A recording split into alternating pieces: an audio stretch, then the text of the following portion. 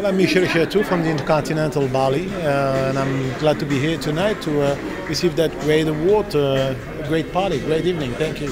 How does it feel actually winning this award? I think it's a lot of pride, and it's uh, it's uh, the result of the hard work of a great team of people of, uh, and individuals that uh, managed to get us here. So thank you to all of them. Uh, how important is this award to the travel industry? I think uh, first of all it's extremely motivating for all the teams. Uh, it uh, it uh, allows us to uh, look forward for something and work for something.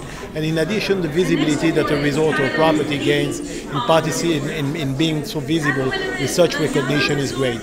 And what are your plans for next year? To get another one. I wish you all the luck, sir. May you have a lovely evening ahead. Thank you very much.